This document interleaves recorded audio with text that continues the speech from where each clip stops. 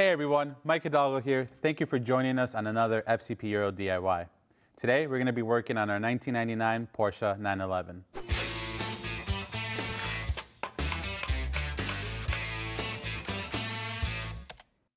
This DIY is going to show you how to A, clean out your radiators if that's all you're going to be looking at doing today. B, upgrading your radiators, whether you have broken them or you want to upgrade them. Couple reasons why you might want to look into this. On these cars, as you may or may not know, the radiators are located on the front of the bumper. You have two big air ducts that feed in air to the radiators and AC condensers. Over time, from normal driving, you get a lot of crud buildup, just debris off the road, you name it, it's going to get stuck in there and lower the efficiency of how your system operates. So you can use this video to figure out how to remove the bumper and clean your radiators out. Other times what happens is the stock units on these cars have plastic end tanks. Over time in heat cycles, the plastic degrades. Sometimes you hit a big bump or maybe you hit something on the road and they tend to crack or fail. So that's another reason why you may want to be looking into this. For us, we're just going to go ahead and upgrade our vehicle with these nice CSF units. The cool thing about these is that they offer 40% more cooling capacity. They're a double row system and they're 15 to 25% more efficient than the stock units in the car. So not only are they more efficient and have a better capacity of cooling, but the end tanks are not going to be a problem for the future. So pretty cool upgrade from CSF. You can see both sides, full metal on metal, even where your cooling hoses connect. So it's just a really nice peace of mind and nice knowing that you don't have to worry about plastic end tanks cracking. So with that being said, before we get started, let's take a look at the tools we're going to need for this job. For this job, we have a couple basic tools to do the uh, bumper removal and the radiator replacement. Uh, firsthand, a different array of screwdrivers is helpful. I have a couple Phillips and flatheads on the table. Different size ratchets. I have a 3 8 drive and a quarter inch drive, as well as a couple different sockets and extensions and attachments, ranging anywhere from a T25 to a 13 millimeter socket, a 10 millimeter socket, and I use a 16 and a 19 to change those ports on one of the radiators, as you'll see. We have a pick tool, just a nice to have. It's this rivet removal tool. As you can see, it's going to be helpful with our fender liner rivets. Hose clamp pliers. These are excellent for removing old hose clamps and installing new ones. And then a couple nice to haves. We have this Airlift 2 vacuum filler. This is going to be uh, the tool we're going to use to fill the, the cooling system on the vehicle. And the last nice to have is just an electric ratchet. These make removal of loose screws and bolts easy and quick. Now we have the tools covered, let's head over to the car and start on this DIY. To get started, we're gonna work on getting our front bumper cover off. We're gonna work on removing this, you can call it a bumper surround or a radiator surround. It's basically a little grill. It's held in by four plastic rivets. They just twist out, so we'll get started with that.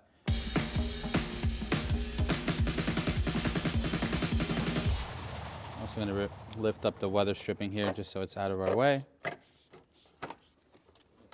Oh, yeah.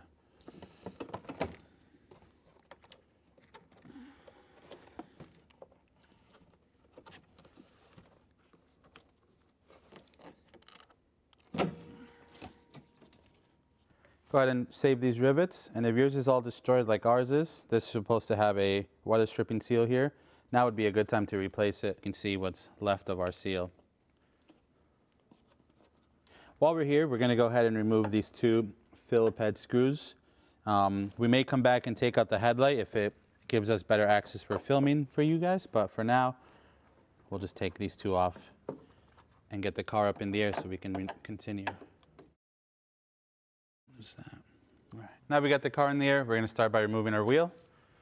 Couple 19 millimeter lug bolts and our Porsche wheel lock.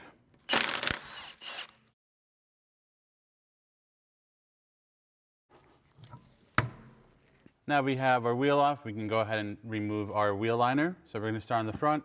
We have a couple rivets to remove and a 10 millimeter plastic nut. I'm going to start with a 10 millimeter plastic nut.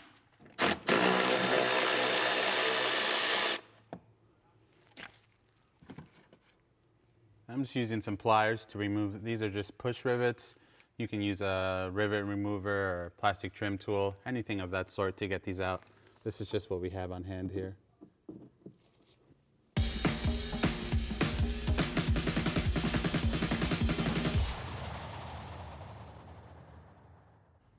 If you have pliers like this, these will also help. We just found these on the floor.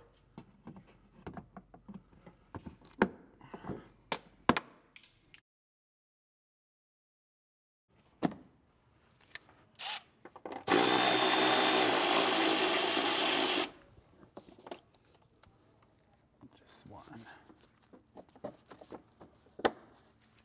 Now we got our wheel liner insides removed. We have a couple underneath the front bumper. I'm gonna start with these three Phillip head screws. Over here, we'll also go ahead and take out this other Phillips head screw that holds in the actual bumper cover itself. Now we have one more up front here. And we have another rivet right up in this recessed hole.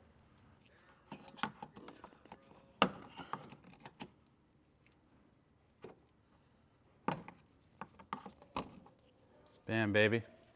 Now with all the hardware removed, we can go ahead and remove this wheel liner. Starting from the front.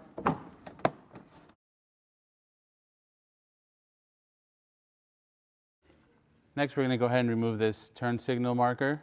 Simply put your finger behind it and pull out. It's just in there by tension. You can pull it out and disconnect your electrical connector. Similar to the ones in the engine bay, you just push down on the metal piece and pull off.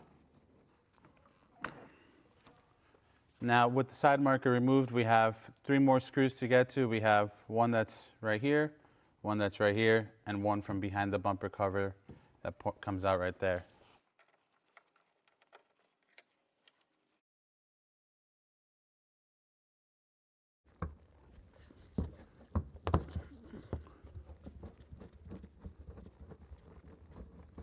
So that's going to pretty much wrap up the hardware on the passenger side of the car. So you can see we just tucked the wheel liner back for now. We may or may not come back to fully remove it. We're going to see how far we get like this. But the idea is going to be similar on the driver's side. So we're going to hop on over there. Same thing, take off our wheel, our liner, our hardware. And then before we're ready to pull off the bumper cover, we'll show you the last bits of hardware underneath so we can get to these radiators.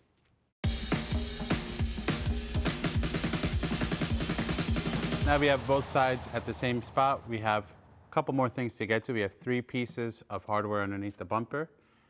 And then we are one step closer. These are just Phillip head screws. Before we pull the bumper cover off, we do have a temperature sensor to address. That's on the passenger side. So we're gonna go ahead and disconnect it so that way we don't damage it when we pull the cover off. To get this out, you can just pull it from the bumper cover and just set it to the side. It'll sit in the air dam. Now, we're ready to go ahead and pull this off. Now we're ready to remove our bumper cover, and this will tell us if we missed any hardware or not.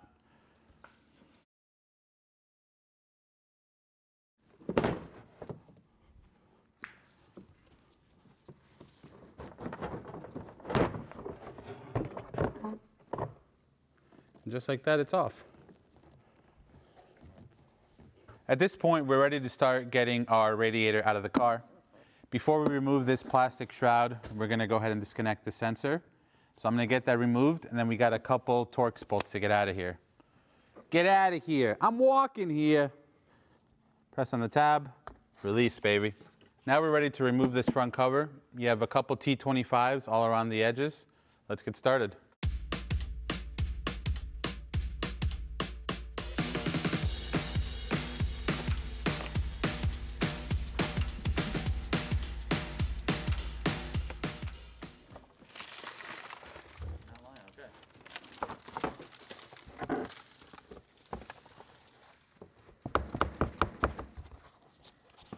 After vacuuming. Now we have our ducting removed, we can go ahead and get these two T25s that hold in our AC condenser out so we can slide it out of place and work on removing our radiators. Once you remove the two T25s, you have a little notch on the left-hand side that the condenser keys into. So you're gonna slide it towards the nose of the car and then it'll pop out. Messy. Now we have our AC condenser up to the side. We can work on getting this radiator and fan assembly out. Uh, to get started, you're going to want to work on disconnecting the electrical connector for the fan. To get it off, you're going to slide it forward. And from there, you can pull it out towards you. You got a tab on the top and the bottom of the plug. You pull to disconnect.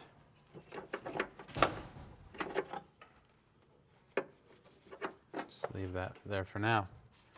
Next, we're going to work on getting the hardware off so we can get this whole assembly out of the vehicle while also giving ourselves some access to the upper and lower radiator hose. We have two 13 millimeter bolts underneath for this radiator fan assembly.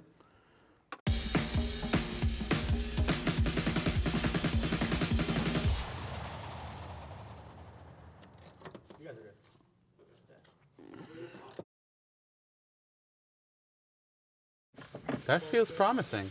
From here, we're going to go ahead and remove these two retaining clips on the end that hold the fan assembly to the radiator itself. We'll be reusing these when we install our new unit.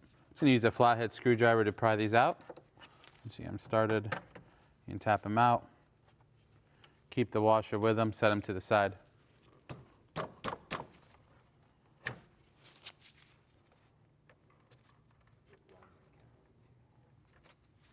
Push out on the fan shroud, if you will, the back bracket, so that we can push the nipples coming out of the radiator out of this assembly right here. So I'm starting at the bottom, just gonna use my fingers to kind of push like that.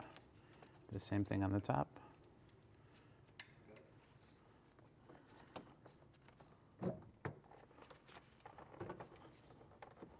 Just like so.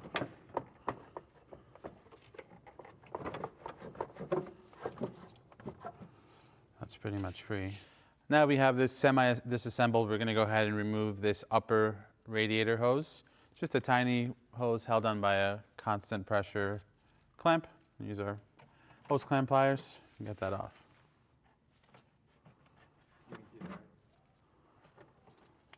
Slide it back.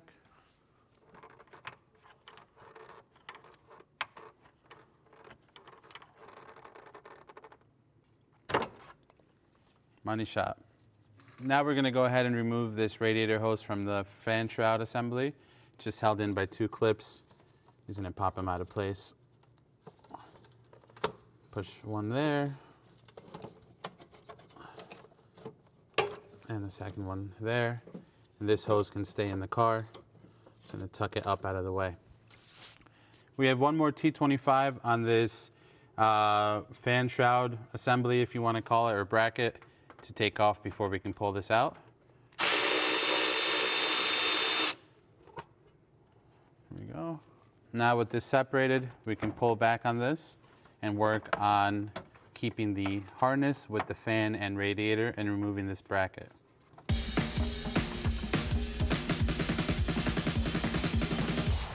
From here we can pull this wiring out from behind the fan shroud and then you have a resistor at the bottom here that can just unclip from the bracket and then the bracket can be removed.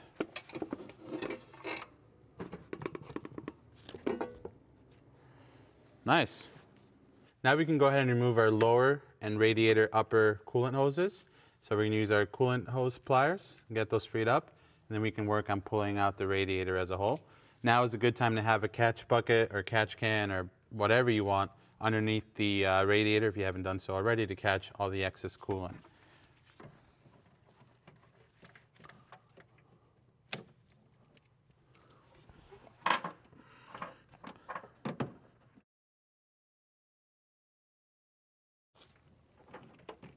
Beautiful. Now we have the hose clamps undone. We can go ahead and work on separating our radiator hoses and making a coolant mess. Like I understand why these are plastic, but I'm also kind of impressed that they're just plastic.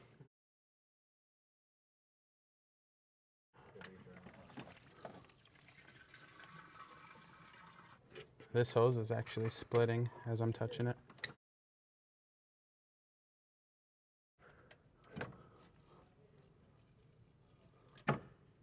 Now we can go ahead and pull the radiator and fan assembly out together. The other end of the radiator is simply in a uh, plastic grommet that keeps it aligned, which is what's been holding up this whole time. I'm just gonna go ahead and lift it, pull it out, try to contain this coolant from going everywhere at the same time.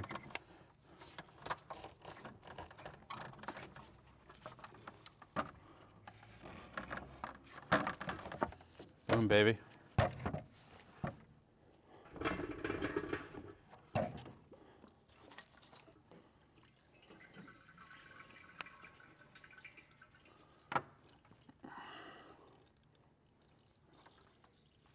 Now we're ready to go ahead and get our new CSF radiator ready for install. We have to do a couple things before we do that though. For starters, for the passenger side of the vehicle, our nipple for our radiator hose, the small tiny one that we disconnected first, is on the wrong side. It's just how they ship them. So we have to go ahead and swap this port with the one up here. You'll see it just has a plug. So we're gonna get those swapped over. This is gonna be a 19 millimeter socket, and then this is gonna be a 16 millimeter socket. Let's get that going.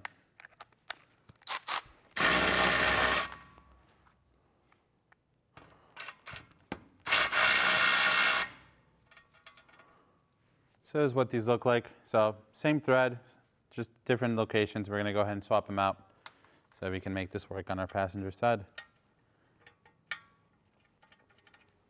Use the ratchet to snug it down. These don't take a lot of a lot of torque to tighten them down. It's just a rubber seal.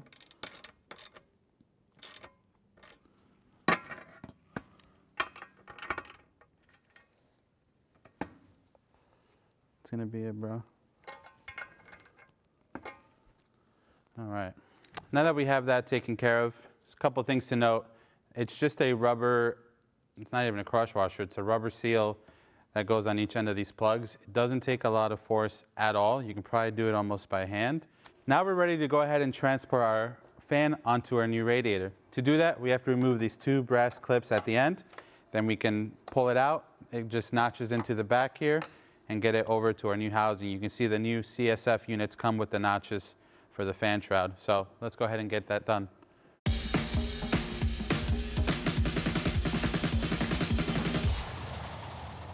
Yeah. Beautiful. Now we're gonna go ahead and, now that these clips are up to side, we wanna pry these little brackets over and then we can unhook this whole assembly off this old unit. Just like that.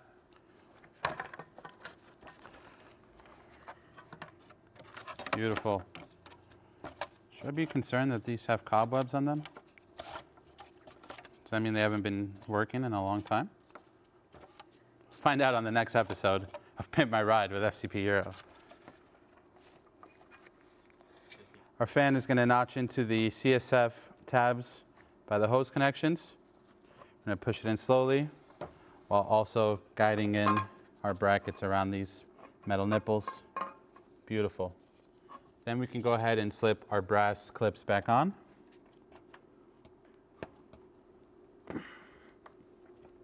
There's one.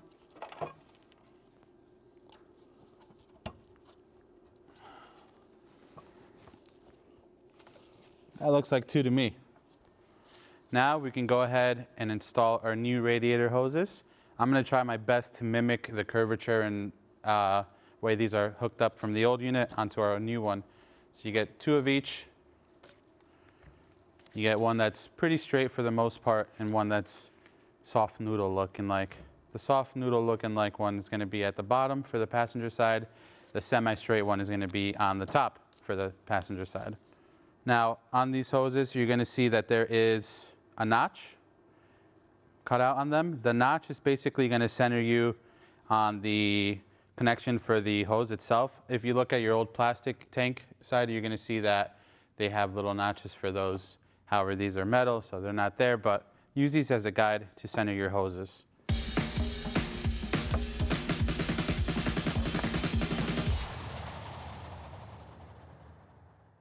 So as mentioned before, I like these constant pressure clamps. I'm gonna go ahead and reuse them, but again, our kit does come with new worm style clamps. And now for our noodle hose. Same thing, this one has a notch cut out in it. I'm gonna go ahead and use that as my centering guide.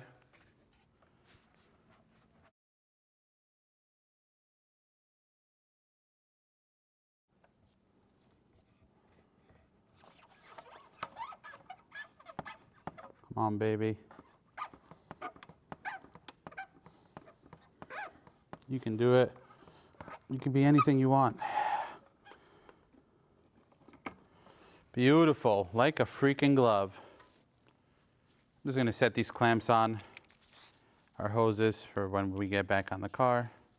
Set them far back a little bit, just like that. Hopefully I can get to them later.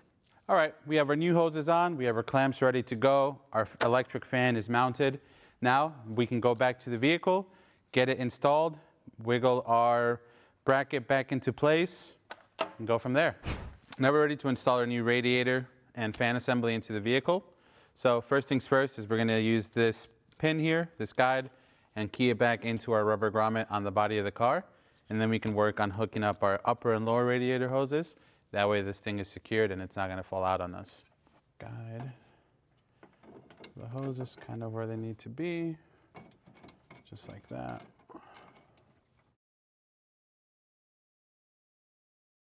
Insert our nipple over there. Just kind of, just kind of rest it like that. I'm gonna set my uh, coolant catch can back under here just so in case it does fall while I'm hooking up the hoses, I have something to catch it. Now we're gonna go ahead and install our radiator, starting by lining our alignment pin back into the rubber grommet on the body, followed by hooking up the radiator hoses.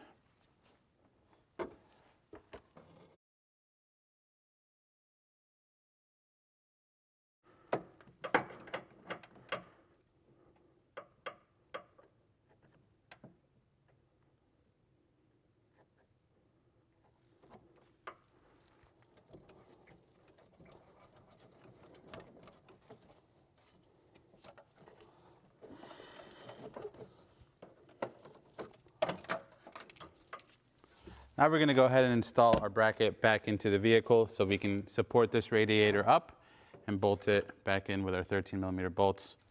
You want to make sure your resistor goes back on the bracket itself so that it stays in its original home. Then you want to line up your two pins on the end of the radiator back into these rubber grommets on the bracket as well.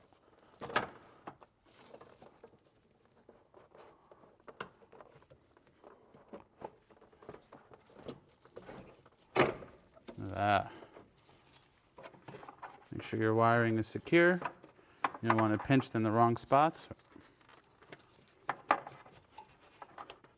Something like that's good for now.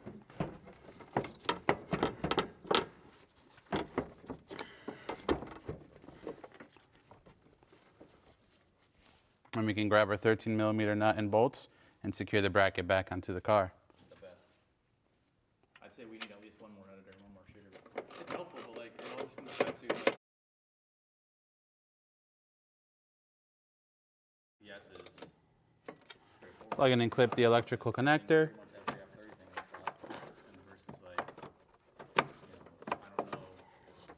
Back into its home. I'm just going to put in the last two 13 millimeter bolts on the bottom.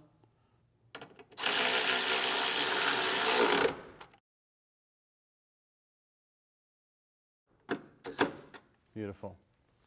Now that our radiator and fan assembly is secured, we can go ahead and secure our small radiator hose that goes at the top corner of our radiator. How many times can we say radiator in this DIY? Can we do a radiator counter? Radiator Springs, featuring Lightning McQueen. Sorry. Bam, baby. Now we can install our brass washers and pins that secure the radiator to this bracket itself. Start with the bottom one, followed by the clip itself. And do the same thing for the top. Beautiful. Now what we have left is to secure our AC condenser, put our ducting back on. Let's do that. To put our AC condenser back on, we're going to line up our tab into the mounting point on the CSF radiator. Just like that. Slide it over. And the CSF radiator comes with new hardware already installed on it. We're just going to line up our bolt holes and mount those back into place.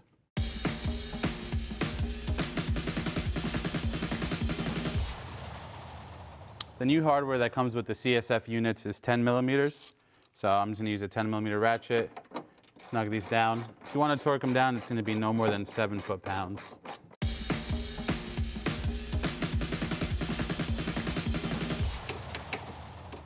Now everything's mounted up, we can put our ducting back on. If you have the opportunity, go ahead and blow the fins out on the AC condenser. They do get packed up with crap. You can see this one's a little bit worse for wear, so we might have to change that out in the future. However, for the passenger side, you do still have your air temperature sensor and the grommet that you need to feed back through this hole. So start with that, and then you can line up the bolt holes. Again, this comes with new hardware for this, so make sure you use that. Or else the hardware ghost will come and get you.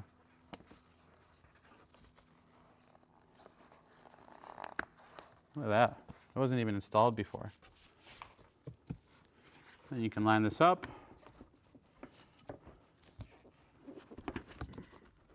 Make sure all your bolt holes line up. Grab your new hardware and line it up again. How many times can I say that?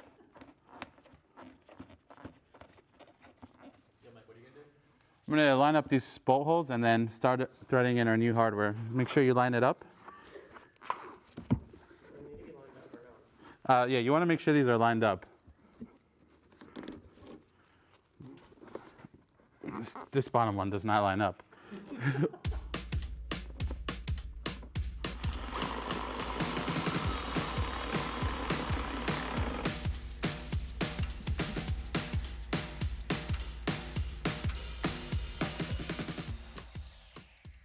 So at this point, this concludes the whole replacement on the passenger side of the vehicle. Again, this can be used if you're simply taking off the bumper to clean out your radiator and AC condenser, or if you're gonna do it, go ahead and do a repair like we did today, or an upgrade.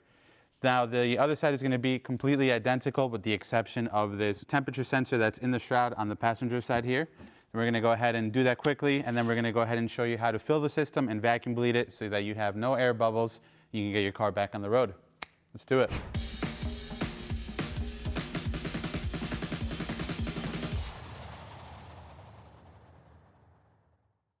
All right, my good people. At this point, you can see we're at the back of the car. We're ready to bleed the vacuum system after our job that we've done today. So what I've done so far is just set up the equipment, the Airlift 2 tool as we're gonna need it. Um, for this specific car, I had to go ahead and remove the 10 millimeter nut that held the tank in place, which you saw earlier. So what I did is I pulled it over so we can get our air line and our suction line in place. And then uh, from here, I went ahead and just gave it a little bit of PSI to make sure that our system didn't have any leaks before we filmed for you guys. Um, so far, the system seems to be holding. You want to pump up your gauge to about 20 to 25. You can see that on the tool instructions. Right now, we're just about 12 pounds of pressure. So what I'm going to do is I'm going to crank it up to 20, 25. A um, couple things to note. If the system is not fully empty, you're going to have some coolant come back up the tool. It's got a breather up here. It's going to spew out a little bit. So you always want to do this with the car as empty as possible. We've tried to do our best on that, but we're for sure going to have some residual. So without further ado, I'm going to go ahead and pressurize the gauge to the level that it needs to be at. And as long as it doesn't drop after about a minute or so of sitting there, then that means our system is completely airtight and we can work on filling the car up. So let's go ahead and get started on that.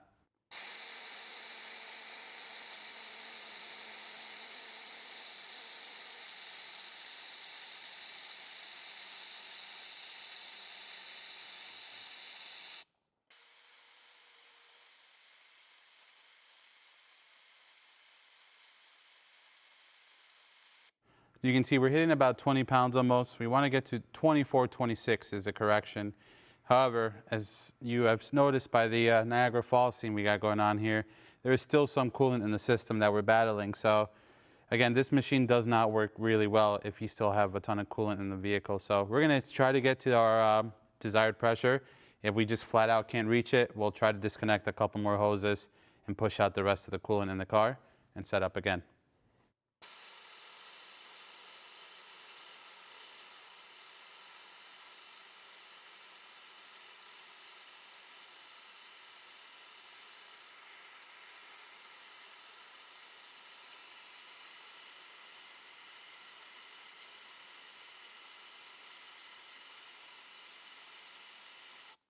Now that we've reached our full pressure, the system's holding, we're gonna go ahead and dip our our suction hose into our mix. We have a 50-50 mix of distilled water and genuine Porsche coolant. You can see it's totally the right color versus what came out of the car. So you want to make sure that your uh, suction end is all the way at the bottom of the bucket at all times so you avoid filling in with any air by accident. So I'm going to get this started and then we'll start filling the system. Now to fill the system, we're simply going to release this blue valve and then it should instantly pull up the coolant from the bucket.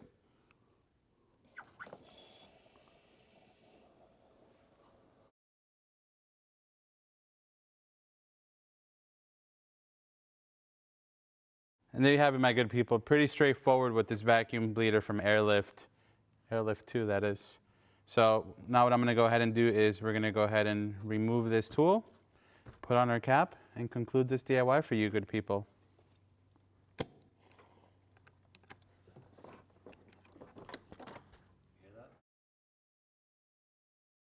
Now, if your reservoir is overfilled, then you can go ahead and use something like a syringe or a baster just to remove any excess. I'm gonna make sure that we're at the fill line, and if I need to, I'll top it off with my jug. Now that our system's filled up, we're gonna go ahead and head back to the front of the vehicle and put our bumper cover back on and our fender liners now that we know there's no leaks or any of that bad stuff. Now we have everything situated up front, our cooling system's bled, we've checked for leaks. We're gonna go ahead and put our bumper cover back on. So let's go ahead and get that going. You'll notice the hood latch has an emergency release built in. If you choose to, you can go ahead and route this somewhere behind the bumper should you ever need to, route, need to uh, access it in an emergency. You want to make sure you're lining up your air ducts at the front of the bumper. Don't force it on if it's not going on easily. Take your time with it. You want to make sure you get this right so you don't damage anything on the vehicle. So you can see here, here's our emergency release. I'm going to go ahead and just tuck this up here somewhere where I can access it later. We have our three Phillips heads. If you remember from the removal process, the longest one, there's one that's longer out of the three. That's your middle one. So we'll start with that one since we know where it goes. All right, now let's head over to the side of the car and get our hardware in by the side markers. Now we're gonna go ahead and put our hardware in that sat behind the side marker light. We had three Phillips screws.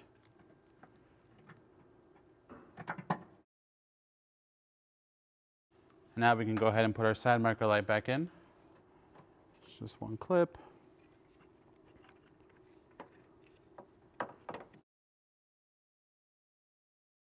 And then to put the light back in, you have a notch on the front that hooks into the plastic bumper cover, and then a metal clip that springs tension on it to keep it in place.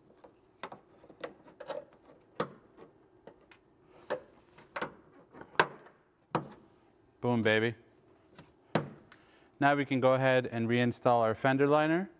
And then we're gonna go ahead and do the same side on the driver's side, throw our wheels on, and wrap up this DIY. Now we've got everything set up here, we're gonna go ahead and reinstall our fender liners.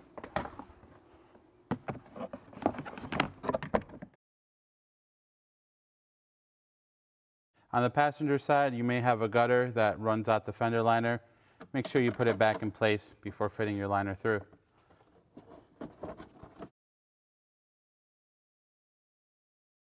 Next, we're going to install our 10 millimeter plastic nuts, just so this stays in place. We got two in the back half. Something useful is to use the uh, wear marks on the liner so you know that you're lining it up the way it was when you pulled it out. Beautiful. I got, we have some fresh rivets. We're going to go ahead and install those next.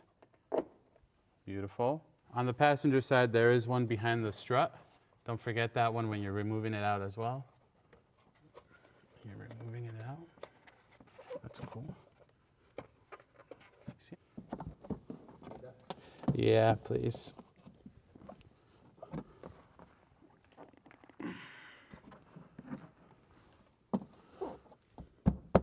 Thank you, baby.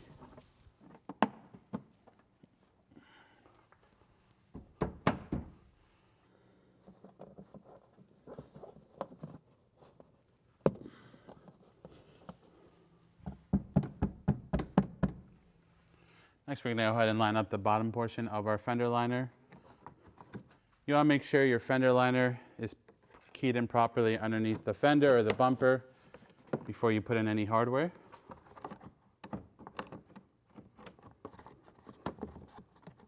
I'm going to go ahead and throw our rivet back in just so it holds everything in place. Then we can put in our Phillip head screws.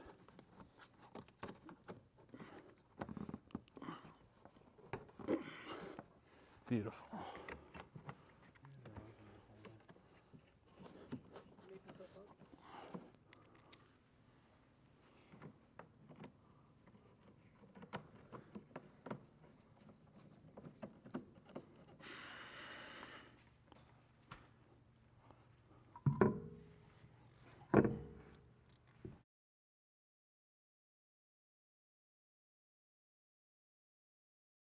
Gonna go ahead and tighten our wheel down with our 19 millimeter lug and then torque it down to 96 foot-pounds. Now we have our wheel on, we're gonna go ahead and do the same thing on the other side of the vehicle. We're gonna put our fender liner back in, our hardware that holds our bumper back in place, and torque our wheel down to 96 foot-pounds. And that's gonna wrap up this DIY. Now we're gonna install our two Phillips screws up here on top of the bumper cover. and then put our surrounding radiator trim piece back on. I'm going to start by putting the latch through the cover here first, if possible.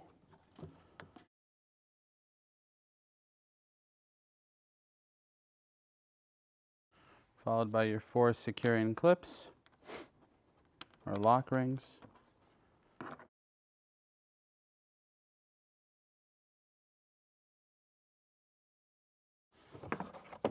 Our fender liner seal back on.